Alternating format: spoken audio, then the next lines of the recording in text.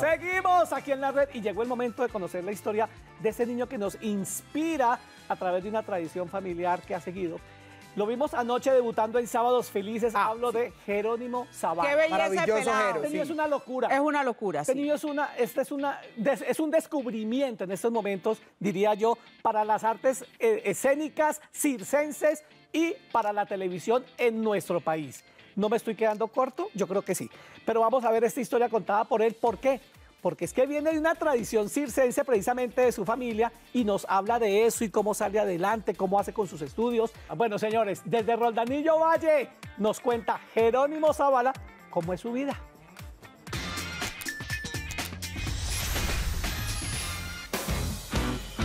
A tan solo una hora de Pereira está el municipio de Roldanillo, Valle del Cauca, lugar donde nació Jerónimo, el ganador de Generación H y nuevo integrante de Sábados Felices. Bienvenidos a mi segundo hogar, el circo de los hermanos Aray, con vaso de leche y Nospirín. Acompáñenme a conocerlo.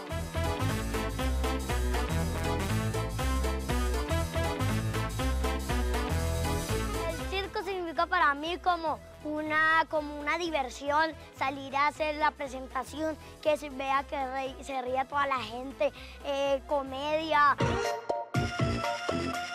Mientras el circo está en Roldanillo, Jerónimo se presenta todas las noches. Eso sí, siempre está en compañía de sus padres, Eliana y Cristian. Y aunque ya no son pareja, tienen una muy buena relación por el niño y lo apoyan en todo. Vivo en una casita con mi mamá, con mi hermanito y de lunes a viernes estudio en un colegio como un niño normal y estoy en grado quinto. Y los sábados y domingos sí paso con mi papá haciendo el humor. Y cuando vengo aquí a dormir con mi papá, eh, yo tengo una casa rodante como un artista. Ven, camínese al nuestro. Esta es mi casa rodante donde duermo con mi papá, viernes, sábado y domingo con mis hermanitos. Vengan, les muestro.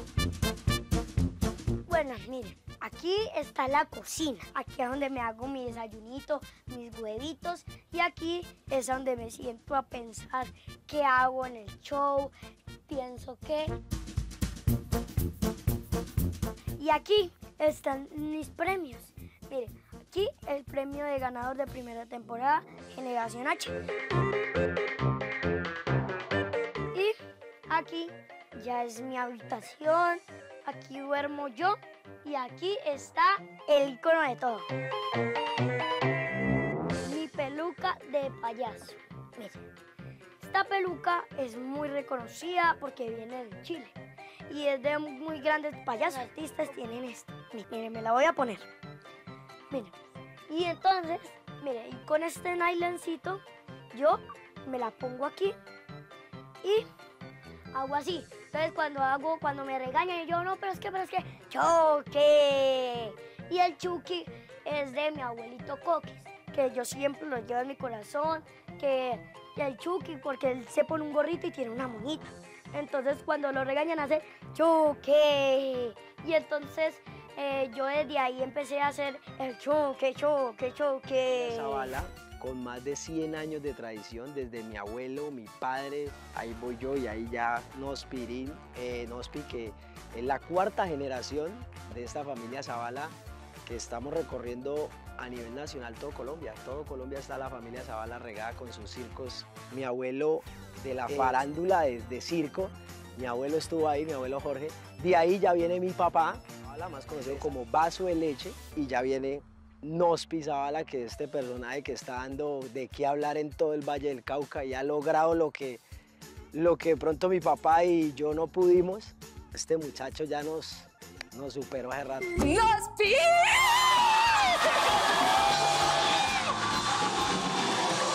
Histriónico, talentoso, cariñoso, inteligente y disciplinado.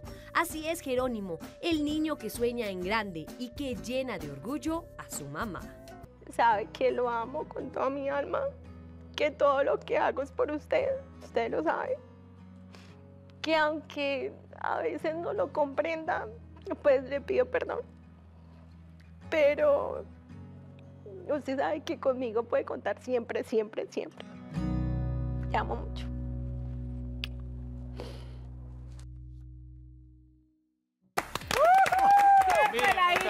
Tan bello, tan Eso lo- entendido, tan persona, tan todo. Lo Oye, que demuestra bella. que tiene unos padres además que no le han eh, Cortado alas. machete a la creatividad. Y además les voy a contar una cosa. La escuela circense Uy. colombiana, no existe como tal, pero hay un movimiento circense tan importante en Cali, en Bogotá, Acá. en Medellín. Yo creo que hay un renacer a partir de, la- de- de- de lo del Circo del Sol.